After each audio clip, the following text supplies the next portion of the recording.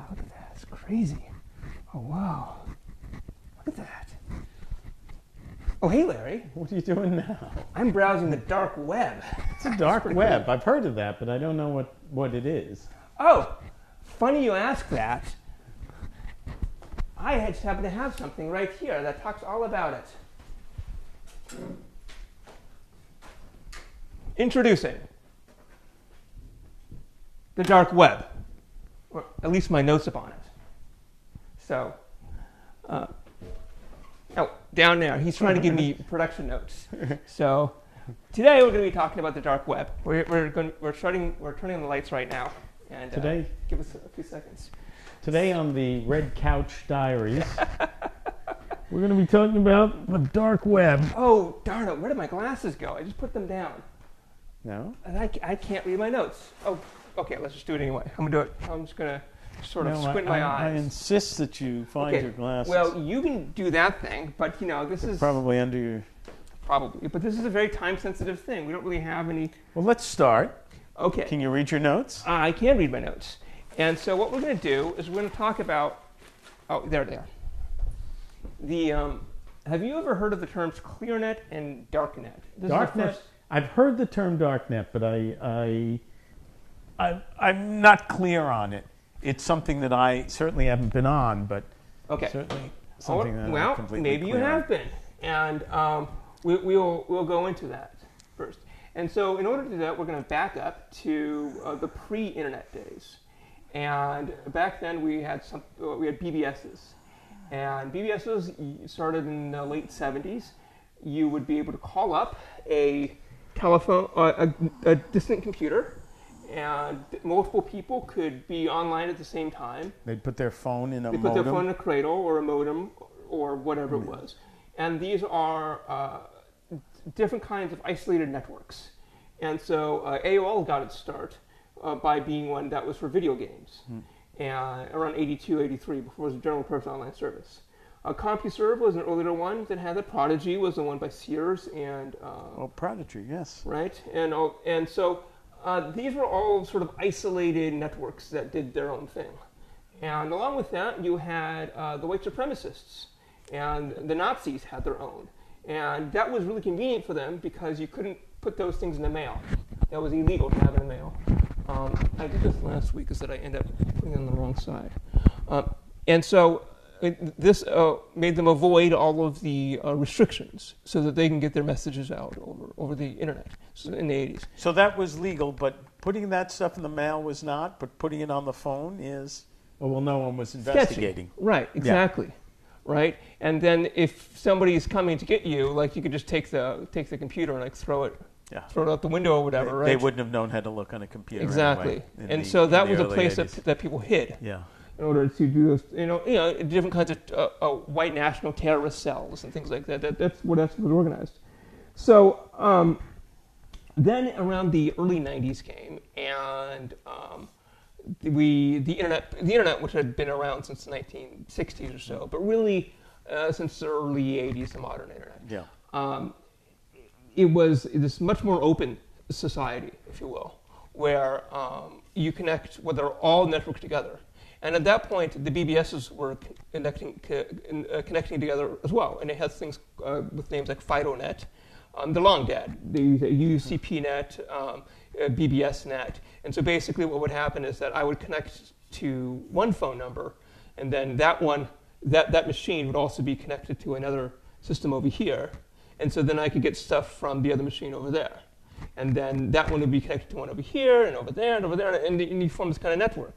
And so using that, then uh, I would call a local number here, and then and then it would sort of crisscross across like the old long. Di- well, Like the old dial-up. well, not only that, it, it depends on how old you are. Um, I, I know you like to be sort of secret about it, but back in the day, uh, when you tried to make a long distance call, you could actually hear each of the exchanges going through, Oh. and it would take uh, maybe a minute or so as you hear the different kind of machinery Yeah. as they, as they go out along the network to, to get to your final destination. And this is essentially what would happen. And so uh, that's how you would talk with somebody from New York to Los Angeles for uh, whatever the local, no, it might be, just be a local number for you, right? Um, so people were doing that in the early 90s before um, the, the web came around. So that, that's what that was. And then um, when the web came, that kind of killed it all. And uh, because now it was a, an open system and it wasn't hidden by phone numbers where only a few people knew about and you had to create an account and these uh, sysadmins sitting here could kick you off or whatever it is. You could basically go to a, a, a modern web browser, type, go to search engine, and then potentially find everything out there, which was great and also not so great because um, there were features of that secrecy that was a benefit to some people uh, for many reasons. Uh, for instance, banks would do it, and banks had their own networks, Yeah. and that's that's legitimate. The, the, the Defense Department it has its own version of the internet, and it still does. Um, one that you can't have access to, and it's a completely different set of protocols, and, and they're not connected to each other. Um, and so, uh, thi- this introduced something called the uh, something called the deep web, which the earliest reference I found uh, c- talking to it is about 1998 or so, and that's different from what's known as the dark web, uh, because in the, the the deep web is basically um, some things you can't ne- necessarily navigate to unless you log in or uh, go searching or whatever it is, right? And so um, you can't necessarily click on it. You have to do some typing in order to get to it, as opposed to uh, so that's also called the invisible web. And then, as opposed to the dark web, which is intentionally hidden services. So in 1997, they had something called the dark web portal. And the idea is that you could use that in order to get to uh, things that people were trying to hide. And so these days, it might be something like, oh, uh, because everything has been put on the internet, maybe the stoplight down the street or something like that. And you might be able to interface that over the web, right? Uh, in- back in the day, maybe there was, a, as we said, like a BBS or a dial-up network, and then you'd have to dial into the stoplight in order to see it. But, but these days, everything's been converted War over. games. War games. Right, exactly. Those old movies, right? Mm. And so um, now we're going to get to um, number three. And so we, we had this open internet in the early, in the, in the late 90s. And um, that was okay, but it was, there were a lot of privacy concerns. First of all, what would happen is you would type in your password, and it would then con- connect and go across a bunch of different uh, servers that would all be able to see your password as you typed it in, right? And so if any of those were bad actors, or if somebody had figured out how to access that computer illicitly, then they could see all the traffic going through, right? And then take all of your account information and do Sign terrible things with it, right? And so sign up computer your thing and, and empty your bank accounts, right? It's awful. All right, so, so that was uh, that's that's um, and then there's also uh, server-based um, uh, uh, security, which is basically like um, even though I'm accessing it, um, what if somebody comes in and removes the computers? Would they then ha- know what I was accessing or what I put on mm. there, right? So sometimes it's it's a full encryption where only I know about it, and even on the remote server, it's still compressed, or still encrypted. And so even if you stole the hard drives, you wouldn't be able to see it, anything. That's how passwords are stored, for instance. They're, they're not stored in a real thing, they're stored encrypted. Yeah. in something called a hash function. And um, a lot of the um, uh, servers, what, what they'll do is, is their actual, their, cl- their customers' data. Those will give you encrypted drives. So even if you even if you took the drives out, you couldn't actually inspect any of those people's things.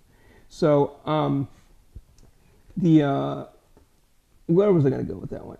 So so yeah, so, so that's the kinds of privacies that this is just background information to understand where we're going to get to the next thing. So the next thing we have to t- talk about is the centralized versus decentralized. So um, let's say that I have something that I want to be private. Uh, and it's on a centralized server with all of these encrypted things. Well, that's okay as long as it's legal, right? And if it's illegal, then the FBI can still come in, take that, take the server thing out, you know, um, arrest the, the people that were accessing it, right? And say, I, I know that you're on here, and now you have to give us the password because you know we have the long arm of the law on you, right? and we're going to force you to do that, right? So, so it's this other kind of um, restriction where they can, you know, it, it doesn't matter how how good your security is if the other guy's got, you know, an iron bar to smash Yeah. over your head, right? So um, the the um other thing is you you have something about liability and ownership. So um, what if, let's say, I was trading uh, copyrighted material on the server, right?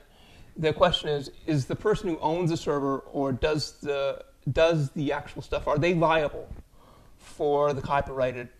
It's an ongoing No, it's not. dis- discussion. No, no, it's not. Uh, uh, Uh, uh, there, no, this has been decided Yeah. in courts many times, and so uh, the, the famous ones are in in uh, Napster in 2001 and Grokster in 2005.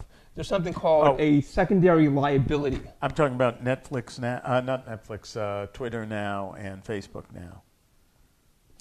No, the, Yeah. the- t- Twitter and Facebook still are under the same uh, findings of those lower court, of those Mm-hmm. Yeah. earlier courts. And so, secondary liability is basic, or, or secondary infringement is Mm. that you know, is that I, if I was downloading it, I am prime, I have the primary Yeah. infringement. But then uh, the people that have the service, and this goes back to Sony Betamax.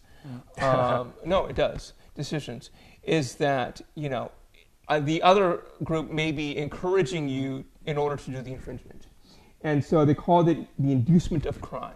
Okay, and this became a big deal in 2012 with a guy named Kim Dotcom who had a mega uploads site, which was a site where you could just upload files. Yeah. And you know, he said, "Well, I don't know what's what's on there. Uh, you know, I've got no idea." Um, but because he structured it like that, by its very nature, he's inducing the crime by saying, "Well, wink, wink, we're not going to keep any logs, right?" Yeah. And and so it's like, well, what what are you expecting at that point, right? It's like saying, you know, uh, we're, we're the we're the bar, but we're not going to check any IDs. Well, of course, Yeah. you're going to get kids walking in, right? Um, so you have a responsibility. Uh-huh. So uh, yeah, that guy went to jail for, for that for that actually. Yeah, Big, big deal.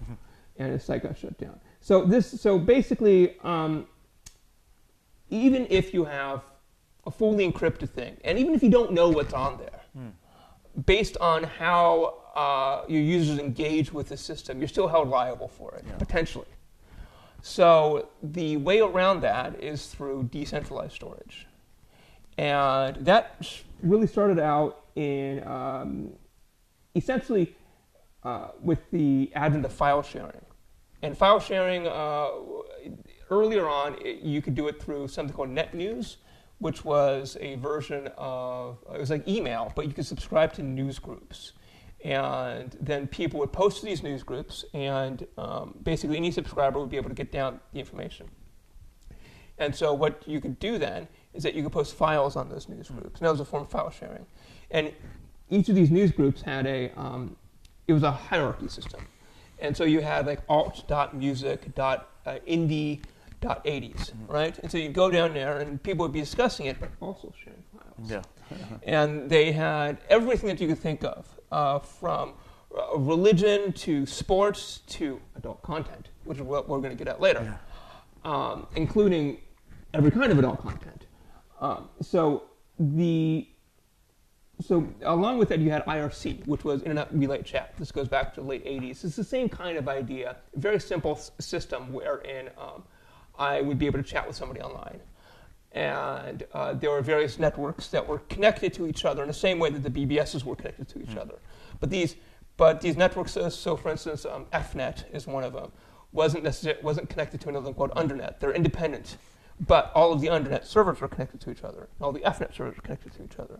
So when you log into EFnet, then you're on a network with all of the other people that are logged in at that moment in time. Um, and similar to the other things we talked about beforehand, if I decide to join a chat room, I don't have a scroll back history of what happened before I joined. Right? So um, I don't know the historical parts to it. Okay, and so um, they were also completely anonymous, or they still are. And so uh, I, if the if nobody on the network has the username Larry, then you could be Larry, right? But if somebody happens to have it right now, then you can't be. But once they log off, you can take it, Oh, right? yeah. So it's it's uh, basically uh, I hold it while I'm logged in, and then I release it. And there's ways around that these days, but essentially that's the idea. Yeah. And so at that point, it becomes really anonymous because you see Larry and you don't necessarily know it's a Larry that you saw yesterday. But then you check the channels and you're like, oh yeah, this guy's in, you know, um, It's not the Larry, Yeah. so you say it won't be the Larry see tomorrow. yeah, th- th- this guy's in the Dodgers channel and he's named Larry. That's the that's probably the Larry I saw yesterday. Um, so these, so because anybody could create channels, and they were basically d- destroyed when people left them, right? And this is very fluid. So I could create any channel topic that I want to, and then I could be an administrator. I could make a private. I could put a password behind. I could do whatever I wanted to, and then I could I could exchange files there. So, what kind of files do you think were being exchanged now? With a completely anonymous, sort of closed off network, you know, it could be completely secret and anybody can make them. Right, it's exactly what you think it is. Uh huh. And that's, pr- I believe that's still done today. I, I haven't, this used to be the number one way that people would exchange music or, or Child porn. well, no, just por- pornography in general, because um, there was uh, in, the, in the late '90s, right? Um, it wasn't today. Like you could just go to I don't know a porno tube and get hours endless, right? Um, everything was behind a paywall, or you have to prove you're 18, or whatever it is, right? And so if you were a, a high school kid and you just wanted to, you know, you, you, you didn't have Google Images, right? Yeah. And so this this was a, a good place for you to, to get that. And and of course there'd be it, it, it's, it's no rules, right? And then not only do they allow a, a high school kid to look at the content, but the, it's all any content that, that you know, Yeah, they can post can come up with. But um, if we go back to the other thing about the, the kinds of security, there is no security on here um, because even though even though you're anonymous and you log in, they still they can still reveal um, what's called the IP address, which is a uniquely assigned address to you at a given time. And your ISP, and that's how the internet works. And so whenever I get out my phone, I have I have uh, a traceable IP address whenever I contact anything. And if as long as people keep uh, up to date logs with correct timestamps, and the and the police get all the paperwork and all the warrants, you know, from all the uh, uh, connecting networks, and they could come back and they could say, "Aha, that was you that, that got that." You know, and so it's not it's not simple. So it's say the same each time? No, Every so you sign off, you sign back on, you have a different IP address. sometimes. Uh, sometimes not. Yeah. The, I mean, the, the cell networks are really weird because you could have one as you walk around and go from cell network to cell network. So it gets really complicated. But again, there's ways of determining all of this stuff.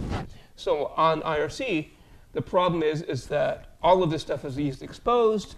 So you can say, oh look, um, this channel is called child porn. Um, I can see these 85 users are in there. I bet you that they're all trading child porn. Let's get their IP addresses and then go bust them, right? Straightforward. Um, not only, but e- even though um, you can't see the logs previously, the servers can. And these are still centralized servers somewhere, right? Yeah. And they're not encrypted. So um, y- you could then walk into uh, the, the server farm with all those racks, and you can say, "Hi, I'm the police. I am here to pick up that machine." You take it out of the wall, and then you look at all the logs, Yeah. and you can do whatever you want. Server busts happened a lot with IRC, especially with these types of stuff.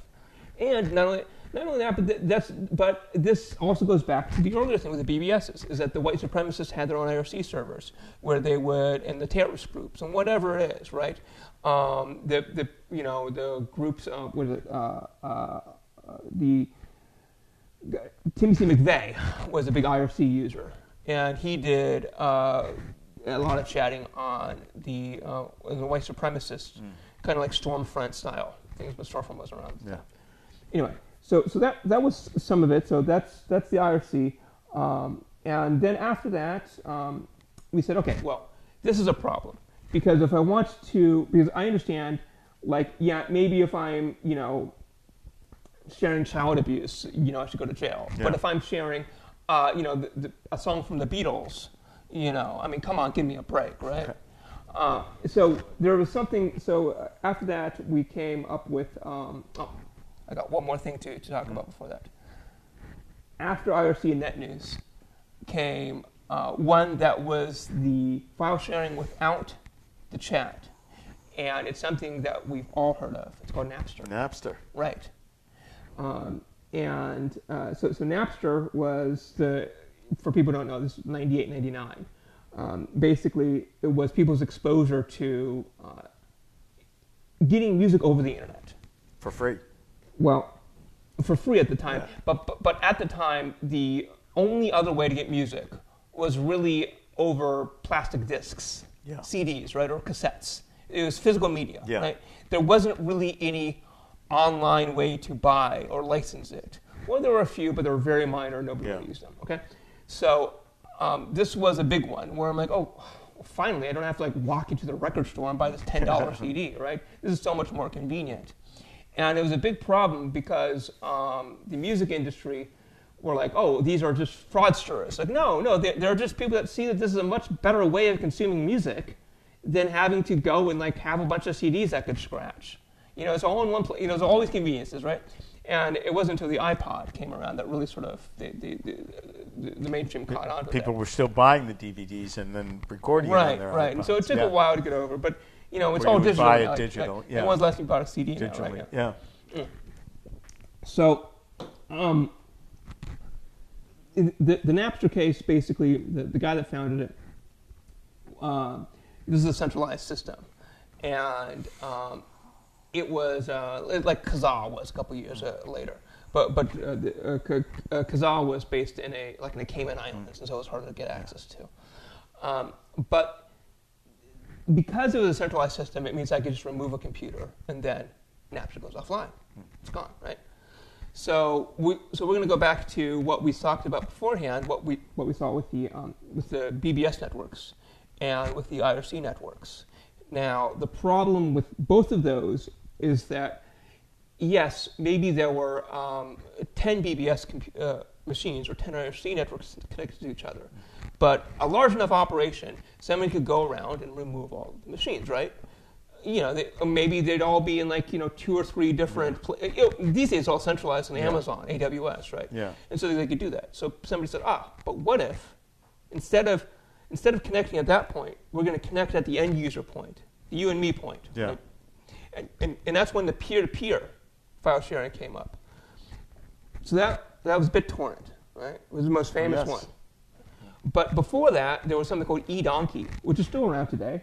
Uh, there and there was Direct Connect, Gnutella, uh, and the interesting things about these is that uh, they have a couple properties. First of all, is there's a unique link. There's a unique uh, on, on BitTorrent it's called a magnet link, and on eDonkey it's called an ED2K link. It's this very large sort of hash of, of, of stuff, and once a file goes up there, then ostensibly it has a unique identifier. So that means that it's up there forever, as long as there's somebody around that's offering it to share, Yeah. right? And so then theoretically it can't be taken down uh, in the same way that like oh I don't know um, because it has like a special uh, name for it, right? It's it's a permanent link, and so even if you go around and you see 10 people sharing them, you arrest them all, Yeah. right? Then a week later, somebody who wasn't online at the time comes back online, and that's the same identifier, and then you got the problem open Yeah. again, right? So, so that means that you can go on E ED2K, and then you can see something. Uh, if you uh, with some of these clients, they'll say like, you know, you, you, you type in a search term, I, I don't know, blah blah blah blah blah, Yeah. and then and then you'll get all of the E ED2K uh, files, blah blah blah, and then you can click uh, download on one, and it might say something like last seen incomplete in like 2008, right? And so so uh, the chances of you actually, and not only that, but um, it's distributed, and so some people have certain parts of it. It's kind of like the Monopoly game, Yeah. right? From from McDonald's or whatever, right? Is, is that you need to fill in the port and get all the puzzle pieces, Right. And so um, you might have a, f- a file that sits there at 99% for a month or a year or never completes Yeah. because nobody has that last remaining part to it, right? But because you have this insane persistence, um, that makes it kind of toxic, if you know what I mean. Because that means that if I upload something in fraudulent or or or you know illegal or whatever it is, uh, 16 years ago, then there's no real way to, to then remove it. So, so you know, because that, that, that hash will always kind of be there. Yeah. For you know, because what happens is that um, the the peers then will download some of the databases of not the files themselves. Mm. We'll get to that part. That one's the sketchy part, but of the representations of the files, right? And so then when you do the searching, it'll then bring up the representations of these files, right? And say, okay, well, this exists. We don't know where it is, but it exists somewhere, right? It's just a record of it, right? So yes, yes, I want that thing. then you leave your computer on for two Yeah. years, and you might, you might get it. I guess. Um, so, so that's what happened with um, uh, those, and BitTorrent's the same way, right?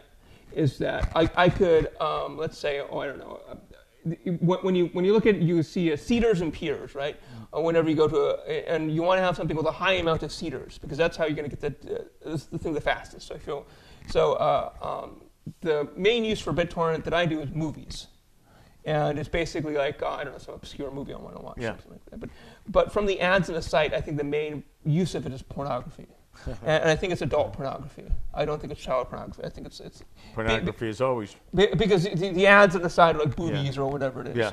And and and also do for books Hmm. sometimes if I want to read like a PDF or something. And, you know, it, it, I, I'll legitimately go and buy it. But Yeah. like if it says like 120 dollars, I'm like I don't want it. I don't I don't know if I want it yet. Yeah. Like I want to see a preview of what I'm going to get, right? And of course, I'd rather have the book form, but they can like, uh, tell me. Mm. So th- those are the kinds of use cases that I do. And it's some software. It's, it's actually used legitimately for software. So um, totally legitimate projects like um, uh, in Linux projects, uh, Yeah. the, the Debian project, uh, very legitimate project. When they put out a new release, they will say, "Well, we don't want you to, you know, we have to pay for our server costs, and we're a low budget operation." So they'll put up a torrent link so that people can then download from each other Oh. in order to reduce the costs. Um, Wikimedia sometimes does that with like a, a database dumps or something like that. So you know these not-for-profit groups that have a lot of data that they're trying to share, um, they might they might use BitTorrent for these purposes in order to reduce the costs, so that you know and increase the download speed, so they don't Yeah. you know ev- so everybody doesn't always go to one server, right? So so that's so that's that part, and uh, I know we haven't really gotten to the the the, um, The dark web. the dark web yet. So, um, but all of this is setting up for what we're going to get, get get to next. And so the next thing we're going to get to are three things called Freenet, ZeroNet, and Tor. But uh, we'll Tor is the most famous one. We'll get to it last, but we're going to start with Freenet and ZeroNet first.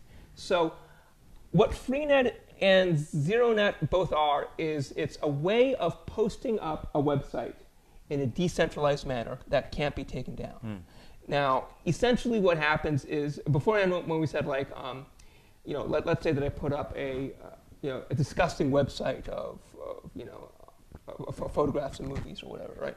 And then somebody could, could say, oh, well, you know, we're going to remove that thing. We know who owns it, and we're going to remove that thing. That's fine, right? uh, on Freenet, in the same way that I uh, on on eDonkey, I could put up a video, I could put up a website. Yeah. Ah, so that means that I put up a website of of this content, and then um, I leave the building. I don't have to be there anymore, and now the website is being sh- shared amongst all of the other people that participate in Freenet.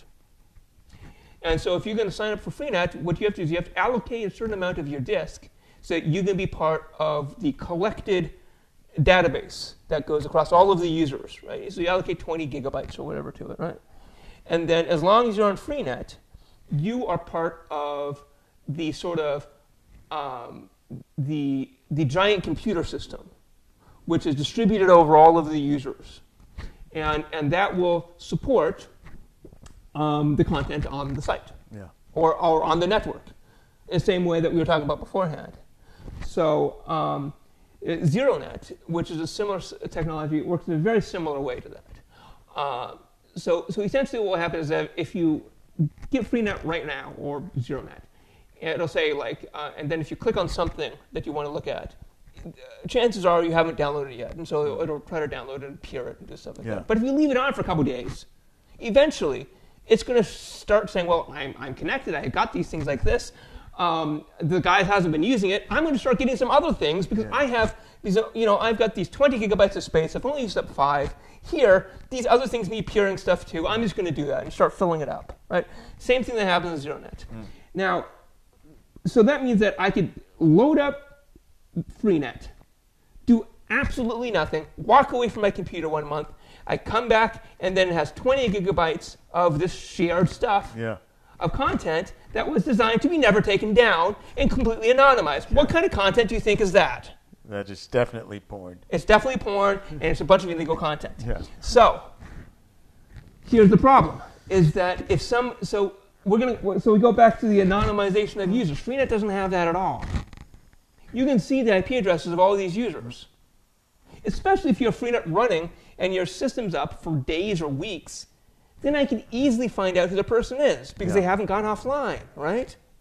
And so, so a well-seeded Freenet or ZeroNet network, you know, especially if you're generous enough with the amount of content on it, um, and somebody walks away or doesn't even worry about it, they'll have a bunch of, of child porn on their machine that they don't even know about, Right. They could not have been at their computer for a month and they right? saw it. Yeah. And and so here's here's a really interesting part about all of that is that the the uh, because of that, I think the been around since about 2000. Uh, for active users, um, it depends on what you're talking about. If you're talking about people who are, are on throughout the month or a day or a couple hours or whatever like that, um, it's somewhere between two and five thousand people or, or computers. yeah. And so this isn't a huge network. Again, we're going back to the BBSs, we're going back to the IRCs. You know, if you go into, you know, the most busy IRC network is probably like 3,000 people, right? It's, it's not a lot of people Yeah. because, you know, um, there's just, it's, this, this doesn't have the size of Facebook or these other things or NetNews or any of those other stuff, right? Um, Napster was the only one that went huge, right? But other than that, it's all really small. So um, you go, so the so basically what if you look at the Freenet, uh, all of the all of the allocated space amongst all of the computers is about 80 terabytes. Now um, that's relatively small because I can go out and buy a 20 terabyte drive right Yeah, now, right? yeah. And so that's four of those, um, and so so it's it's big, but when we're talking about a global network of anybody can get on, It's not that big. it's really not that big at all, right? It's pretty small. yeah. And so um, basically, uh, w- there's been a number of uh, people that have been picked up for running Freenet and arrested on child porn charges. Now, some of the, some of these charges are, are fairly interesting because there's this other thing here. Uh, let's see if I'm uh, here. Uh, is that we're going to go into um, uh, uh, yeah. So there's this kind of porn out there called lolly, uh, and essentially what it is is it's anime or uh, maybe or hentai, you know, and things like it's it's drawings depicting uh, uh, sexual acts. Yeah. And so, so Lolly is uh, reserved for. Uh, I, I, I, I, I've never looked up Lolly. I've only heard about it. Um, but I believe that it's, um, you know, girl and uh, there's always a girl involved, and I, I, uh, and they're depicted as underage, right? And they're all drawings, and it's, it's pornographic depictions. So this one, one person uh, a couple years ago was arrested in Utah for running Freenet. They took his computer. They looked in the cache of the distributed database of all of the images, right? Yeah. Of all of the content that he may or may not have looked at. It doesn't really matter. And then he found uh, they found depictions of this lolly porn, and then they and then they um, uh, charged him with child porn. Um, and then he pleaded guilty, and they did a plea bargain. Yeah. And you see this rep- repeat again and again and again. They'll find somebody with uh, three JPEGs, uh, you know, depicting uh, teenage boys or Yeah. whatever, right? And then the person pleads guilty, and then uh, you know, and then you don't hear about it afterwards. So I'm curious about this thing, since we know how the network works right now, and you know that by the nature of running that thing, you'll probably get that content on your computer somewhere. Um, the question is, do we have, and, and like I've, I've got aluminum, I've got a aluminum foil right here. We can make some hats if you want to. Let me just, let me just kind of, kind of do this for now. So here's my aluminum foil hat. All right, well, a conspiracy theory hat. the, the question is is um, are these lazy police officers that you know their boss comes and says, why haven't you arrested anybody in the past week? Like, oh fine, and he says, let me just go on Freenet and find a couple losers and, and arrest them. Is it? Um, well, here's the other thing: is that the other stuff that those that those uh, that those uh, networks do is they do truly illegal stuff, like uh, people maybe trying to sell narcotics or illegal weapon sales or things under the, the RICO laws, right? Of organized crime, right? Drug smuggling, stuff like that. You know, th- that's the real stuff, right? Or or uh, maybe the the thing that the child pornography is designed to prevent, which is child sex trafficking, right? That's the real stuff, right? Yeah. And so the question is like. Um, is the porn like why is it always child porn? Why isn't it these other things which if you spend enough time on there, you see this stuff's going on too. Like I, like I, Yeah. I could go on uh, Silk Road and buy cocaine tomorrow, right, Yeah. and get a bunch of it delivered with Bitcoin. So why? So I don't know whether it's a cover story or what it is, or maybe maybe it's easier to prosecute. You know, that, that's the other thing I don't know is that, Yeah. that maybe like if, if I if I if I find somebody who's like smuggling drugs, and they say, ah, yeah, but they're running free Freenet, and drug smuggling only carries two two years, while child porn carries twenty years, Yeah. because we've been so sort of puritanical with our with our laws there. And, and if I put them in front of uh, a jury of their peers, you know, nobody ever lets a child porn, Yeah. you know, person go. But a drug smuggler, you know, maybe he can get off. So, so I, I don't know if they if they gravitate to that place or what it is, because if you know if you know the technical background, it's a kind of weak case. So so so it's it's interesting. I haven't quite figured it out yet. Um, so that was that part, and so now we're going to get into Tor, which is essentially the. Um, I think I have two more. Yeah, no, I did that and then that. Okay, I'm almost done. Good, time's good.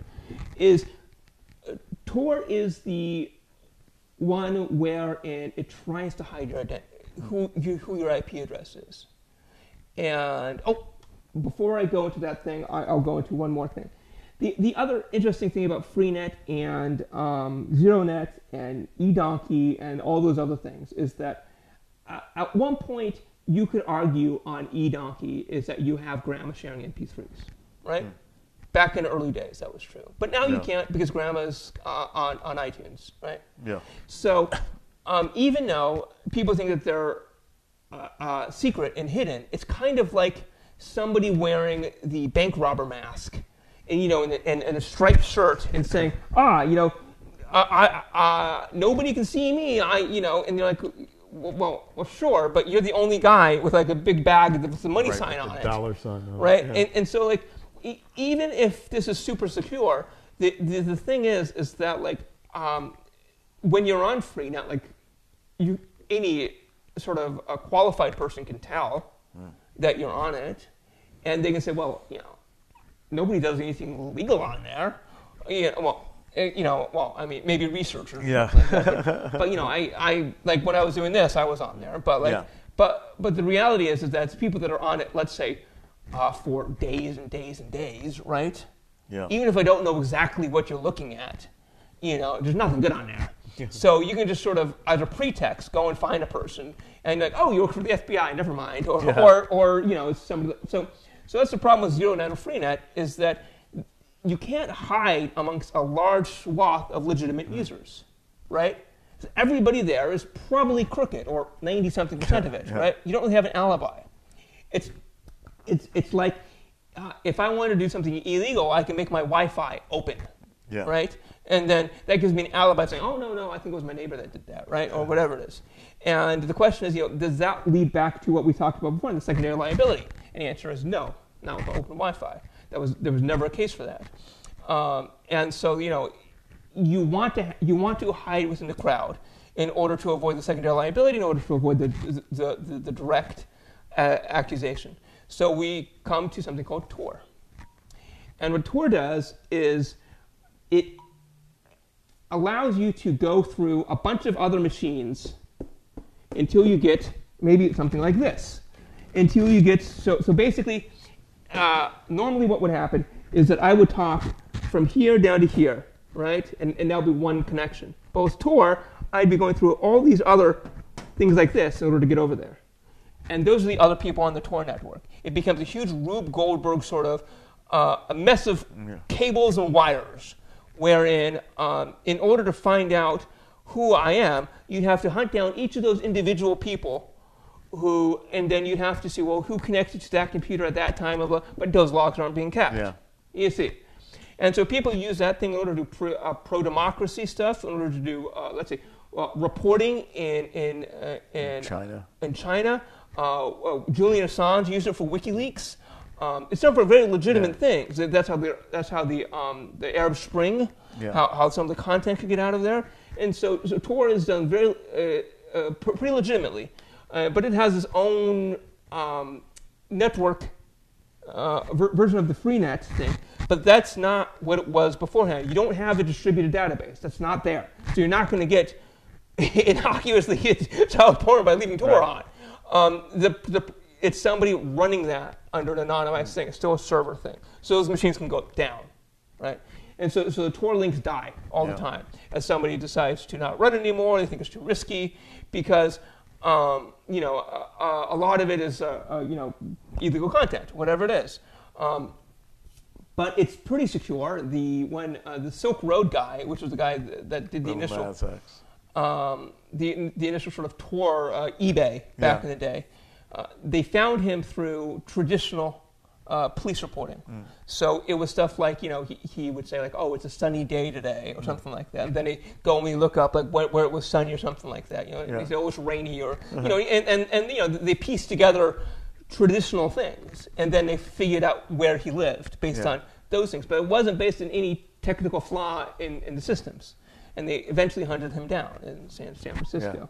So um, that's so, so that's uh, that's Tor, um, and it falls under the same issues. Is that although there are you know uh, award-winning international reporters using it, for the most part, it's just criminals. Yeah, right. And it's not criminals doing porno necessarily, but it's criminals that are trying to do phishing attacks, trying to log into a bank with, with, with stolen credentials that don't want to be traced. yeah. You know, it's, it's people that, that, you know, don't want to, I don't know, they're doing a hack of some computer somewhere or, or whatever it is, right?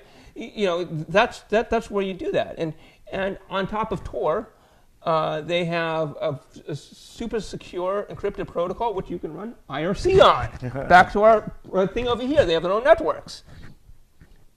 Guess what's because we talked about the problem with IRC is that all the IP addresses and everything was being was being exposed, and you could just go Yeah. and bust everybody in the in, in the lolly channel. You can't anymore if you're on the IRC with Tor. No. See? Into the dark. So, so that's the dark web. yeah, we're getting close now. Tor also has something called the dot .onion sites that you can go to. Ah, all right. So we're going to go over here to. Um, no, I did all of that. Uh, things changed around uh, last year or so with all of this QAnon, or a couple years ago nonsense. Is that all of a sudden uh, uh, the conspiracy? Well, first of all, uh, uh, Tor at one point in all of these others, FreeNet, ZeroNet, all of them, you basically had. Uh, let me let me do the lay of the land. You would have uh, people that were like sort of crazy, just just crazies. You know, conspiracy Yeah. theory people that think that like I don't know, like uh, the the FBI is like you know in their toilet bowl, and then you had uh, libertarians, extreme sort of you know they, they don't want the government in anywhere. Then you had uh, criminals, some sort. You had uh, perverts, and in um, other societies, you might have uh, a democracy or, or female rights activists or something like that. You know, in, in more restricted societies. Um, may, maybe there's a form of, uh, of that over here that I can't that, that you know, or, or I can't think of. That um, maybe maybe Yeah. there's, maybe there's a legitimate thing that's not legal. Um, so around two or so years ago, uh, that was flooded out on a lot of the networks by the QAnon and right wingers. The same people, back to the very first thing here, that were on the secret BBSs back in the day, is a white nationalist and a terrorist and stuff like that.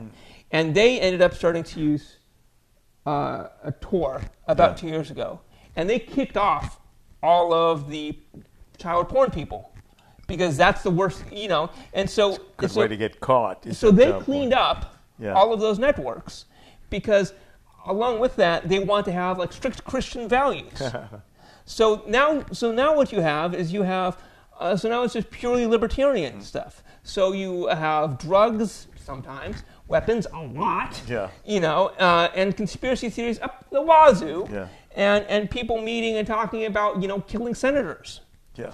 And you know, and a lot of and some of these uh, uh, groups that were um, uh, at at at the Capitol on January sixth, the ones that knew what they were doing, they had uh, they had Tor websites that they would go on, and they there's there's separate social networks that are all on Tor that you can go on, and so you can log in, you can go and you look at this, and it's just and it makes Gab and Parler look normal. I mean, because on Gab and Parler, you still Yeah. can't say, I want to kill Joe Biden. Yeah. But here, you can say, here is how I'm going to kill Joe Biden. Here's my plan to do so. And, People are fine with that. well, they can't tell who you are. You can't be found, Yeah. right? Um, and there's another place that used to be like that, and that and this place has been taken offline repeatedly, which is we have to go talk, talk about the Chans. So, um, 4chan and 8chan. What they are is they're uh, posting boards based on something called 2chan. A, a, a Japanese guy made it in about 2000. And essentially, what happens is that uh, everything there lasts for uh, just moments almost. M- maybe maybe uh, an hour, maybe a, a few hours. Yeah. But uh, it, if you go to a popular one and you read the threads and you click refresh, it's all gone. And it makes it extremely, and uh, uh, it's replaced with something new, right? Yeah.